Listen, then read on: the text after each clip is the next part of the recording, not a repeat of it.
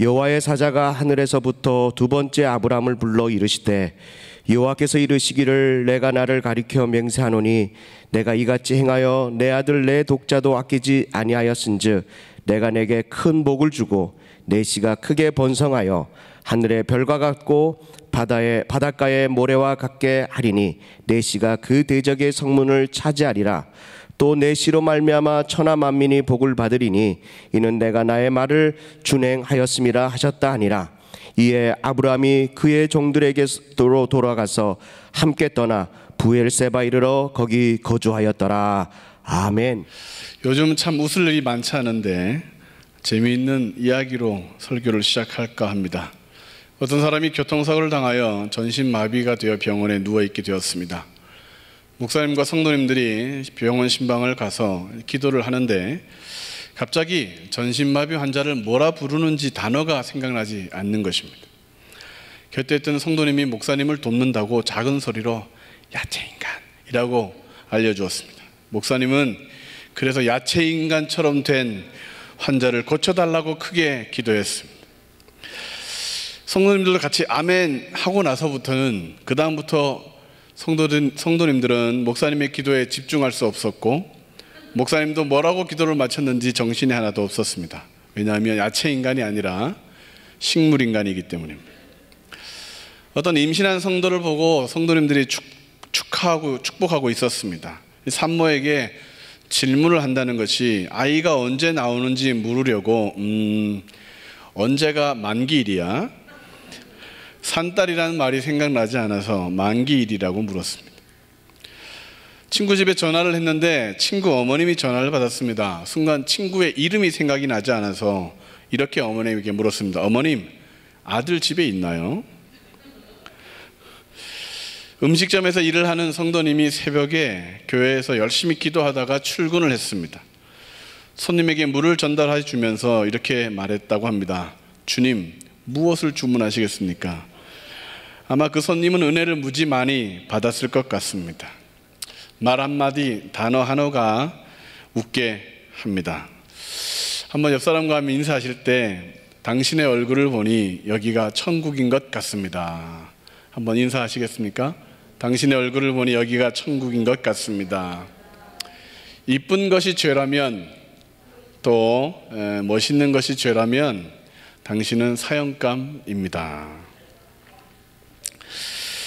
자, 오늘과 다음 주에 이어, 저는 두 번째 말씀을 들으라, 두 번째까지 들으라라는 제목으로 설교를 하고자 합니다. 추석 명절에 어, 고향을 잘 다녀오셨습니까? 부모님, 친척, 또 친구들을 만나셨습니까? 서울 사람들은 확진자가 많다고 고향에서 오지 말라 해서 못 가신 분, 또 안 가신 분들이 많다고 들었습니다. 참 우울하고 슬프지요. 속히 코로나가 종식되기를 계속 기도해야 하겠습니다. 코로나19는 우리들에게 많은 것을 빼앗아 갔는데 의미도 잃어버리게 했습니다. 추석 같지 않은 추석, 그리고 가을 같지 않은 가을을 맞이하게 합니다. 지난 1년간 우리는 바이러스의 위협으로부터 너무 힘들고 버거운 시간들을 보내고 있습니다. 이, 겨, 이 가을, 이 주일에도 우리는 가을입니다. 사랑하고 축복합니다. 이런 단어를 인사를 하지 못할 때가 많습니다. 명절을 맞아 고향을 다녀오면 당일 저녁이나 또 며칠 지나지 않아 전화가 옵니다. 물론 잘 올라갔는지 음식과 반찬을 왜 안 가져갔느냐는 말로 전화를 시작하지만 요지는 이런저런 높아심으로 조심해라, 또 주의해라, 그 말씀을 하시고자 전화를 하신 것입니다. 방금 다녀왔는데 있을 때 말씀하시지 왜 굳이 전화를 하시냐고 질문을 하면 말할 시간이 없었다고, 잊어버렸다고 말씀하십니다. 부모님들은 왜 자녀들에게 전화를 하는 걸까? 대화가 부족했기 때문이겠죠. 듣고 싶은 많은 말들, 또 하고 싶었던 많은 말이 있었지만 명절에 사람이 많고 이 사람 저 사람 함께 있어 대화를 거의 못한 것입니다. 자녀들도 부모님의 얼굴을 뵙고 대화도 나누고 그렇게 쉬다가 오겠다고 생각했지만 실제로 대화는 많이 못합니다. 늦잠을 자거나 TV를 오래 보거나 또 음식을 먹고 치우느라 속의 말들을 나누지 못해서 헤어지면 뭔가 아쉽습니다. 대화는 참으로 중요합니다. 여자들은 친구들을 만나 밥도 먹고 두세 시간 대화를 하는데 헤어지면서 하는 말이 이렇습니다. 집에 가서 전화할 테니까 못다 한 말은 그때 하자. 이 말은 사실입니다. 비록 두세 시간을 이야기해도 못다 한 마음의 이야기들이 많기 때문에 그렇습니다. 충분한 대화는 문제를 해결하는 열쇠, 서로에게 있는 오해의 앙금을 씻어버리는 열쇠가 대화입니다. 그래서 여자들보다 여자들이 남자들보다 화해가 빠르고 또 관계가 오래 지속되는 것 같습니다. 여러분은 어떠십니까? 대화를 잘 하시는 편이십니까? 아니십니까? 병원에 가면 식물 인간이 있는 것처럼 요즘 집에는 식물 부부, 식물 가족이 많다고 합니다. 특징은 각방 쓰기, 대화 단절로 서로 거의 말이 없다고 합니다. 코로나로 인해 가족들이 집안에 같이 모여 있는 시간이 많아졌지만 대화는 더 많아지지 않았습니다. 부부 사이뿐만 아니라 자녀와도 관계도 거의 대화가 사라졌습니다.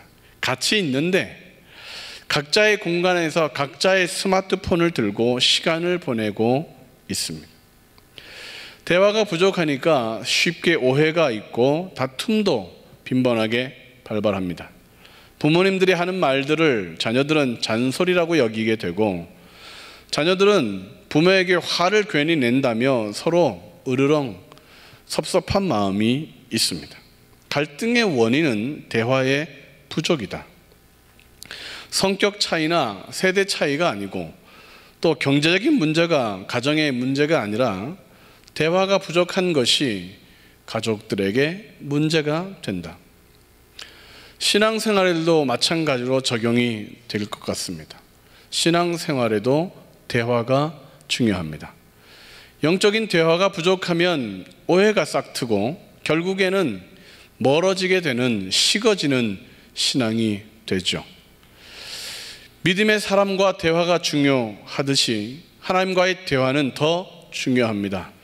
사람과 대화가 단절되면 오해하고 다투면 그만이지만 하나님과의 대화가 단절되면 복과 영생을 잃어버릴 수 있기 때문에 중요합니다. 하나님과 대화를 잘 하고 계십니까? 부족하지는 않으십니까? 오늘 본문에는 하나님과 대화를 잘했던 아브라함의 이야기가 기록되어 있습니다. 일방적인 대화가 아니라 하나님과 주고받는 대화를 잘하는 아브라함. 어떻게 하면 하나님 하나님과 대화하는 아브라함처럼 우리도 대화를 풍성하게 하여 영적인 축복을 다 받을 수 있을까? 성경에는 하나님과 대화를 나눈 사람들이 많이 기록되어 있는데 그 중에 아브라함이 탁월합니다. 오죽하면 하나님은 그를 벗 친구라라고까지 소개합니다. 이사에서 41장 8절에는 그러나 나의 종 너 이스라엘아 내가 택한 야고바 나의 벗 아브라함의 자손아. 야고보서 2장 23절에는 이에 성경에 이른 바 아브라함이 하나님을 믿으니 이것을 의로 여기셨다는 말씀이 이루어졌고 그는 하나님의 벗이라 칭함을 받았나니 하나님은 그를 나의 벗 나의 친구라고 소개합니다. 우리도 그런 어, 칭찬을 받았으면 좋겠습니다. 어떻게 하나님의 벗이라는 이런 위대한 칭찬, 위대한 이런 은혜를 입었을까? 어떻게 하면 우리도 하나님의 친구가 될 수 있을까? 그 비결은 바로 하나님의 두 번째 말씀을 잘 듣는 것에서 시작됩니다. 창세기 22장 15절 말씀은 이렇게 기록되고 있습니다. 여호와의 사자가 하늘로부터 두 번째 아브라함을 불러 이르시되 하나님은 두 번째 대화를 시도하셨고 아브라함은 듣기 시작합니다. 말씀은 한 번은 명령이지만 두 번째 말씀으로 이어지면 대화가 시작되는 것이죠. 그렇다면 왜 하나님은 두 번째 말씀, 대화를 시작하셨고 아브라함은 그 두 번째 말씀을 중요하게 들었던 것일까요? 첫 번째, 하나님의 본심이 두 번째 말씀으로 알 수 있기 때문입니다. 같이 한번 읽으시겠습니다. 시작. 하나님의 분심은 두 번째 말씀으로 알 수 있기 때문입니다. 아브라함이 하나님의 친구가 되었던 것은 전에 하나님의 두 번째 말씀들을 잘 듣기 시작하면서부터였습니다. 날이 뜨거운 어느 날 아브라함이 천사들과 함, 아브라함을 하나님과 천사들이 찾아왔습니다. 그 모습을 보고 아브라함은 그냥 가지 마십시오. 물을 가져올 테니 발을 씻으시고 쉬고 계십시오. 떡과 먹을 것을 가져올 테니 드시고 가십시오. 라고 하나님과 천사들을 대접하며 아브라함은 극진하게 대했습니다. 그러자 하나님은 첫 번째 말씀을 하십니다. 내년 이맘때 사라에게 아들이 있을 것이다. 그 말을 들었던 아브라함은 속으로 사라는 뒤에서 듣고 있다가 속으로 웃었습니다. 그런 일이 있을 수 있냐 의심했습니다. 그리고 하나님은 일어나 길을 나섭니다. 천사들을 소돔으로 먼저 보내고 그리고 배웅하는 아브라함에게 두 번째 말씀을 하십니다. 창세기 18장 16절부터 21절까지 우리 같이 한번 읽으시겠습니다. 시작. 그 사람들이 거기서 일어나서 소돔으로 향하고 아브라함은 그들을 전송하러 함께 나가니라. 여호와께서 이르시되 내가 하려는 것을 아브라함에게 숨기겠느냐? 아브라함은 강대한 나라가 되고 천하 만민은 그로 말미암아 복을 받게 될 것이 아니냐? 내가 그로 그 자식과 권세국에 명하여 여호와의 도를 지켜 의와 공도를 행하게 하려고 그를 택하였나니 이는 나 여호와가 아브라함에게 대하여 말한 일을 이루려 하심이니라. 여호와께서 또 이르시되 소돔과 고모라에 대한 부르짖음이 크고 그 죄악이 심히 무거우니 내가 이제 내려가서 그 모든 행한 것이 과연 내게 들린 부르짖음과 같은지 그렇지 않은지 내가 보고 알려 하노라. 또 이르시되 원래 계획은 두 번째 말씀이 없었습니다. 그런데 아브라함의 배웅을 받던 하나님은 속의 이야기, 그 비밀의 이야기를 아브라함에게 합니다. 왜요? 친구 같아서. 그 두 번째 말씀이 무엇이냐? 소돔과 고무라의 죄악이 너무 크다는데 확인하려고 한다. 그 두 번째 말씀을 들었던 아브라함은 사라도 듣지 못했고 종들도 듣지 못했던 이 두 번째 말씀을 들었던 아브라함은 하나님께 대화를 시작합니다. 하나님 50명이면요. 의인이 45명이면요. 10명 있으면 멸망하시겠습니까? 하나님과 대화를 나누던 아브라함은 그 속에 소돔 땅에 살고 있는 그 조카가 생각났던 것이죠. 그 대화 속에서 하나님은 아브라함의 조카 롯을 너무 생각하고 있다는 사실을 깨닫고 결국 의인 10명이 없었던 소돔 땅이었지만 조카 롯을 구출해 줍니다. 하나님의 두 번째 말씀을 듣는 것은 이처럼 중요합니다. 그것은 하나님의 본심, 하나님의 마음을 알게 되기 때문에 그렇습니다. 하나님은 아브라함에게 독자 이삭을 바치라고 첫 번째 말씀을 하셨습니다. 그리고 우리는 잘 알듯이 아브라함이 어떻게 순종했는지 그 내용들을 다 압니다. 그의 신앙을, 그의 순종을 대단하다 여깁니다. 창세기 22장 3절에 아브라함이 아침에 일찍이 일어나 나귀의 안장을 지우고 두 종과 그의 아들 이삭을 데리고 번제에 쓸 나무를 쪼개어 가지고 떠나 하나님이 자기에게 일러 주신 곳으로 가더니 첫 번째 말씀을 들었던 이 아브라함의 반응입니다.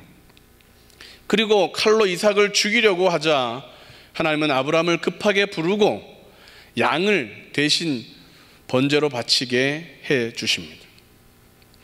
아브라함은 번제를 드리고 그 땅의 이름을 여호와 이름 여호와의 이름이라 부르고 여호와 이레라고 부르고 신앙 고백을 하였고 그 이후 다윗의 아들 솔로몬은 그 장소에 하나님의 성전을 지었습니다.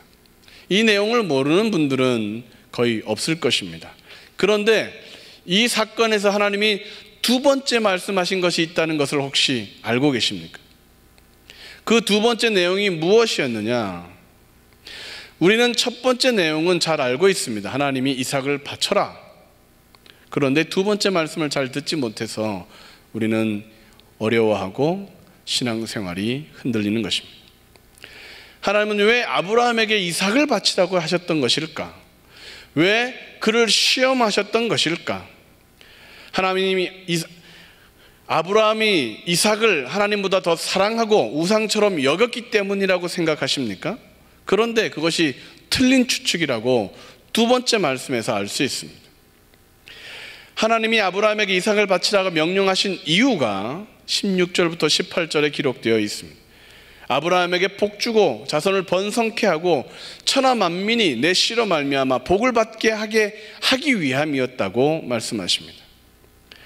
그리고 아브라함이 이삭을 바칠 수 있었던 이유도 울며 겨자 먹기가 아니었다. 아들 독자를 아끼지 아니하였다 하였다 말씀하시며 하나님께 바칠 것을 아까워하지 않았다라고 성경은 기록하고 있습니다. 우리는 아브라함의 눈물을 흘리며 아들을 바쳤을 것이라고 생각하는데 두 번째 대화에서는 그런 내용이 없습니다. 하나님께 바치기를 아까워하지 않고 그 마음을 다하여 하나님 앞에 드렸다는 것을 성경은 기록하고 있습니다. 하나님은 두 번째 말씀에서 본심을 알려주시는 경향이 있습니다. 하나님이 아브라함을 시험한 본심, 그것은 복을 주기 위함이었습니다. 이삭이 우상처럼, 이삭을 우상처럼 사랑해서가 아니라 아브라함과 이삭에게 복을 더 주고자 시험하신 것입니다. 이삭 때문에 하나님을 띄엄띄엄하게 여기거나 하나님을 서운하게 해서가 아니라 복을 주고 싶고 또 복을 주려고 그에게 명령하셨던 것입니다. 믿으십니까? 하나님에 대한 오해가 두 번째 말씀을 들어야만 풀리는 것입니다. 우리들은 신앙생활 할때 대부분 첫 번째 말씀을 듣고 끝나버립니다. 그래서 하나님을 제대로 이해하지 못하고 오해하게 됩니다. 내가 사랑하는 독자 이삭을 바쳐라. 하나님이 너무 하시는 것 아니야? 왜 나에게만 이렇게 어려운 것을 요구하시지? 아, 신앙생활 너무 열심히 하면 선교사로 보낸다는데, 직장 관두게 하고 신학교 들어가게 한다는데, 아, 위험해, 위험해. 첫째, 첫 번째 말씀을 듣고 나면 사람들은 하나님을 가까이 하기보다 꺼려 하게 되고 멀리 하는 경향이 있습니다. 오해하니까 실망하면서 하나님을 떠나기도 합니다. 신앙생활이 어렵다. 말씀대로 사는 것이 너무 힘들다. 하소연합니다. 마치 부모의 속마음, 그 본심을 모르는 자녀들처럼 사춘기처럼 투덜거리는 형태가 신앙생활에도 나타나게 됩니다. 어머니는 짜장면을 싫어하셨어. 아닙니다. 생선의 머리와 꼬리가 더 맛있었던 것이 아닙니다. 그 본심을 모를 때는 살을, 살을 다 자녀들이 먹었죠. 짜장면을 혼자 다 먹었죠. 부모의 본심을 모르면 부모는 했던 얘기 또 하고 잔소리처럼 또 하는 것입니다. 성경책이 두꺼워진 이유를 여러분 아십니까? 했던 얘기 또 하고 내가 너 사랑한다. 믿으라 했던 얘기 또 하고 창세기부터 계시록까지 똑같은 내용이지 않습니까? 철이 들어야 부모의 마음을 이해하는 것처럼 신앙생활에 철이 들으려면 하나님의 말씀을 두 번째 들어야 합니다. 하나님의 본심, 고난의 길이라고 생각하지 마십시오. 하나님은 우리에게 복을 더 주시려고 하시는 것입니다. 이사야 55장 8절 9절 말씀을 같이 읽겠습니다. 이는 내 생각이 너희의 생각과 다르며 내 길이 너희의 길과 다름이니라 여호와의 말씀이니라 이는 하늘이 땅보다 높음 같이 내 길은 너희의 길보다 높으며 내 생각은 너희의 생각보다 높음이니라. 다르다. 다르다. 그래서 잘 따라가야 합니다. 하나님의 생각은 높습니다. 그래서 잘 들어야 됩니다. 하나님의 길이 우리의 길과 다르길래 우리는 우리의 길로 가면 멸망의 길, 사망의 길, 하나님의 길을 따라가야 복이기에 두 번, 세 번 말씀하시는 것이죠. 나를 믿어라. 나의 길로 와라. 지레 짐작하고 말씀을 이러쿵저러쿵 판단하면 하나님의 본심을 모르고 하나님을 오해합니다. 말씀을 제대로 들으려면 듣고 또 들어야 합니다. 지난 주일 예배 드렸는데 오늘도 예배 드려야 돼? 예, 들어야 됩니다. 듣다 보면 믿음이 생기고 믿음이 생기면 말씀이 더 잘 들리기 때문입니다. 예레미야 예가 3장 33절 말씀 읽겠습니다. 주께서 인생으로 고생하게 하시며 근심하게 하심은 본심이 아니시도로다. 본심은 히브리어로 레브라는 단어입니다. 마음, 정신, 의지 뜻입니다. 우리를 향한 하나님의 마음, 하나님의 의지는 고생시키고 근심하게 하는 것이 아니다. 그런데 왜 하나님은 우리에게 불행, 고통, 시험, 역경, 낙담, 절망을 허락하시는 것일까? 아이러니하게도 하나님의 본심을 이루기 위해서 너 고생 좀 하게 될 걸? 너 근심하게 될 걸? 왜? 하나님의 본심을 알게 하기 위하여. 여러분의 애가 3장 24절부터 26절은 이렇게 기록되어 있습니다. 내 심령에 이르기를 여호와는 나의 기업이시니 그러므로 내가 그를 바라리라 하도다. 기다리는 자들에게나 구하는 영혼들에게 여호와는 선하시도다. 사람이 여호와의 구원을 바라고 잠잠히 기다림이 좋도다. 하나님의 본심은 우리들이 하나님을 더 바라보기를 원하십니다. 그래서 고난과 어려움을 허락하십니다. 하나님을 바라보면 우리의 영혼이 선한 것으로 채워지고 마침내 복을 누리게 되십니다. 그래서 역경을 허락해 주십니다. 하나님을 바라고 잠잠히 기다리면 해결해 주실 것을 믿게 하려고 시련을 우리에게 허락하시는 것입니다. 하나님의 본심은 두 번째 말씀에서 찾아야만 합니다. 나라가 망하고 예루살렘이 무너진 것을 본 예레미야에게 하나님은 애가를 지어 부르게 하셨습니다. 그 애가의 가사가 하나님의 본심은 고생시키고 근심하게 하는 것이 아니다. 그럼 뭔데? 그러면 뭔데? 그렇게 노래하며 그 하나님의 본심이 무엇인지에 대하여 깨닫도록 노래하게 하십니다. 현재 고난을 당하고 계시는 분이 계십니까? 하나님의 본심이 아닙니다. 믿고 의지하면 그 고난을 이겨버리게 해 주실 것입니다. 병마와 씨름하는 분이 계십니까? 하나님의 본심은 우리를 건강케 하심입니다. 하나님의 치료를 믿고 기도하기를 원하시는 것이죠. 환란 가운데 낙담하고 계시는 분이 계십니까? 하나님을 의지하지 마십시오. 그 본심은 좋은 것입니다. 더 풍성하게 하시려고 하시는 것입니다. 믿으십니까? 말씀을 읽고 또 읽고 묵상하여 하나님의 그 본심이 무엇인지를 깨달아야만 예, 우리의 신앙생활은 날마다 새롭게 되는 것입니다. 유대인들은 절기 때마다 성경 본문을 읽는 본문이 다릅니다. 6월절에는 아가서를 읽습니다. 구원받은 이유, 하나님의 사랑받은 이유가 아가서에서 찾습니다. 왕이 시골 여자를 사랑하는 데는 이유가 없습니다. 왕의 마음입니다. 제 마음대로 사랑한 것입니다. 이스라엘이 하나님의 선택을 받은 것도 마찬가지입니다.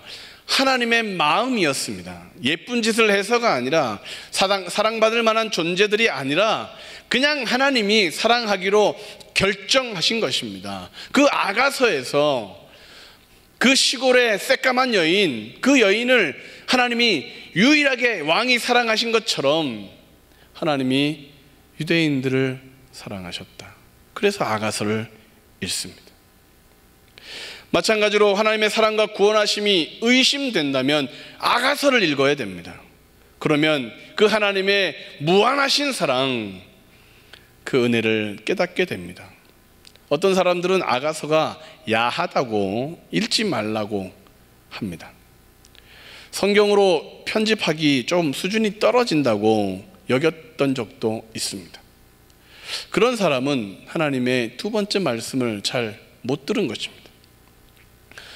또한 첫 열매를 거두고 나서 감사제를 드리는 맥주절에는 룻기서를 읽었습니다. 복된 삶이 어떻게 가능해졌는지 룻기서는 잘 표현하고 있지 않습니까? 우연이 아니다. 하나님이 다 짜고 쳤다. 예. 할렐루야. 음. 우리가 누리는 것, 우리가 받은 것 우연이 아니다. 하나님이 다 뒤에서 알지? 룻기서를 읽게 하시는 겁니다. 예루살렘 성전이 무너진 날에는 예레미야 애가를 읽게 했습니다. 나라가 망하고 성전이 무너졌는데 야 그건 하나님의 본심이 아니야. 하나님이 버려서가 아니야. 자매를 매로 훈계할 수밖에 없는 부모의 마음처럼 하나님의 본심을 읽게 하는 것이 예루살렘 성전이 무너졌을 때 그들이 읽었던 애가입니다. 추수감사절과 비슷한 초막절에는 전도서를 읽었습니다. 인생의 지혜를 알게 하기 위해서 헛되고 헛되며 헛되고 헛되니 모든 것이 헛되다. 추수하고 아 좋은데 헛되다. 그러므로 하나님을 찾아라. 그러므로 하나님을 더 경외하라. 그것이 진정한 축복이다. 그렇게 가르치고자 전도서를 읽게 하는 것이죠. 그들이 죽다 살아난 불임절에는 에스더서를 읽게 했습니다. 어떤 위기, 어떤 환경 속에서도 하나님만 의지하면 큰 승리를 주실 것이다. 원수가 오히려 무너질 것이다. 할렐루야.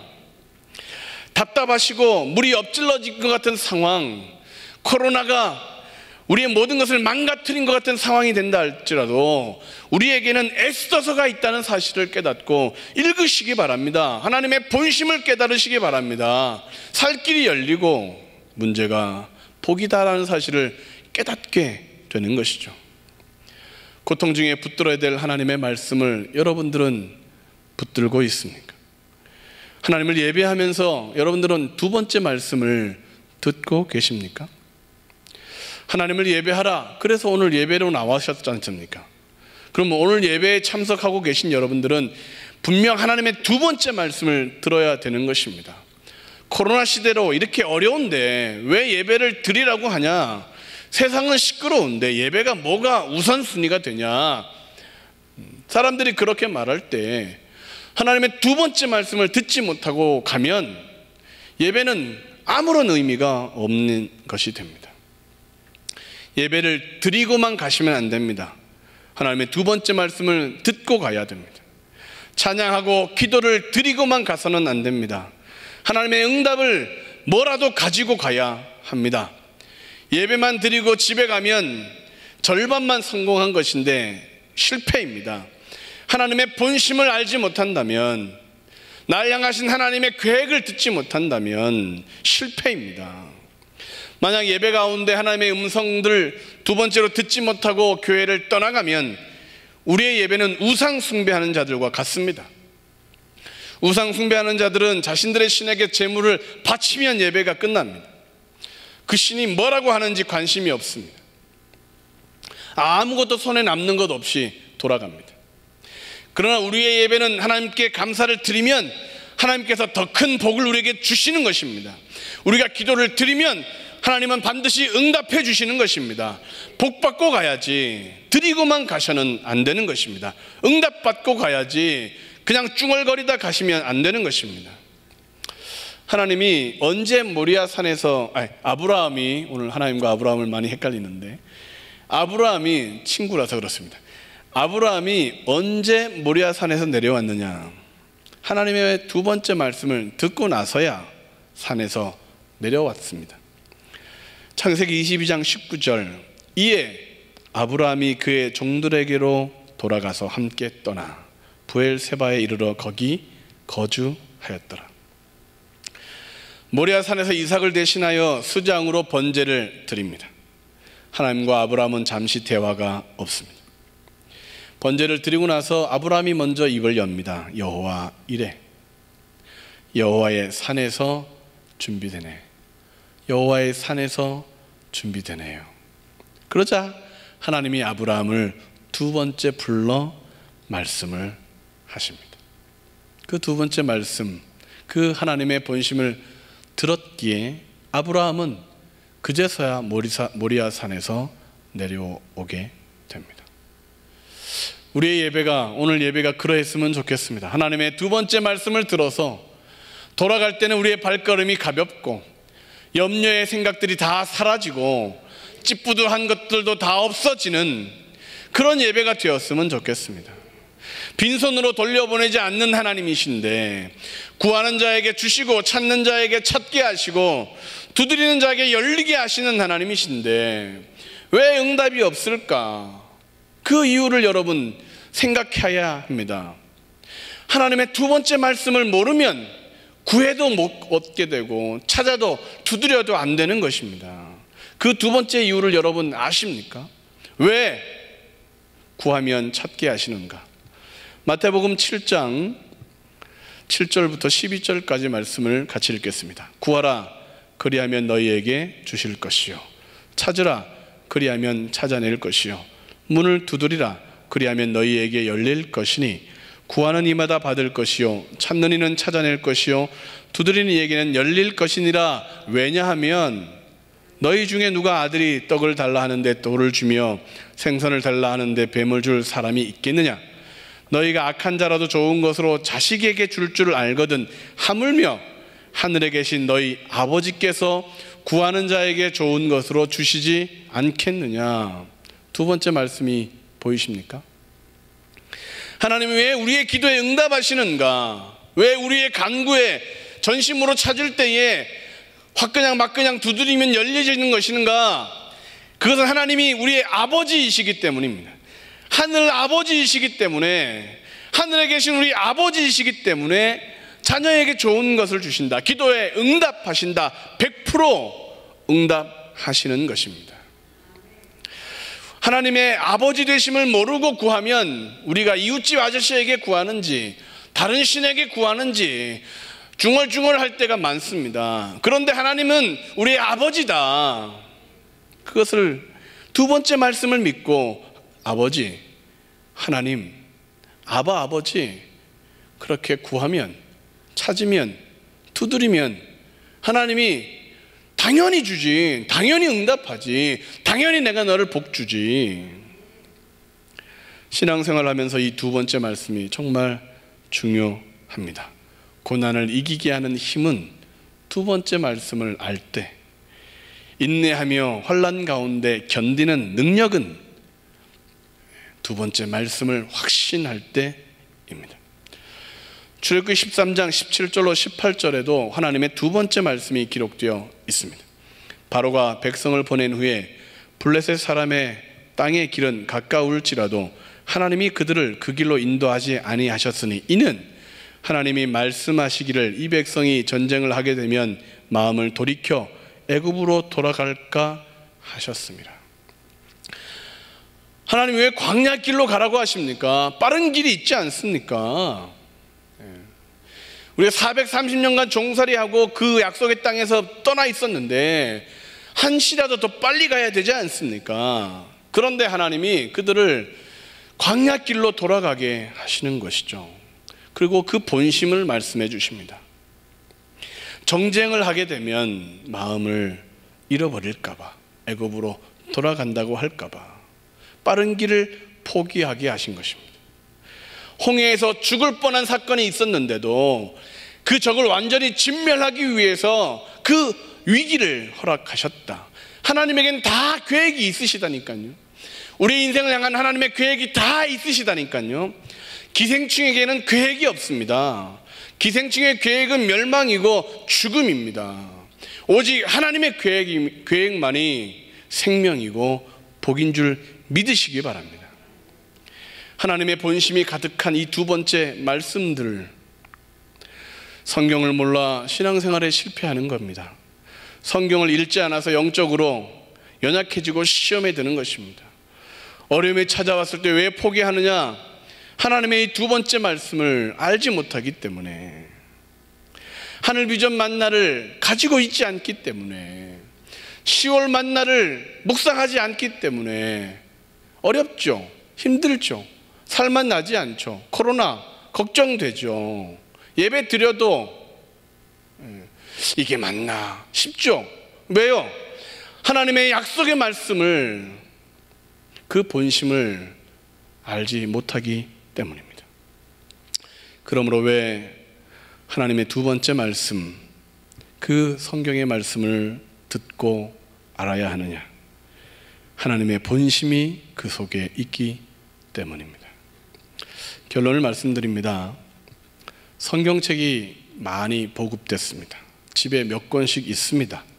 그런데 왜 과거보다 신앙생활이 더 힘들고 약한가? 이유는 하나입니다. 성경책을 읽지 않아서. 하나님의 말씀이 어떤 내용인지를 알지 못해서. 성경이 다 기록해 놓았는데 덮어놓고 있어서 부모들은 자녀에게 성경을 읽게 하지 않으니까 수학 영어 못 가르치는 것은 용서가 됩니다. 초등학교 너무 어렵습니다.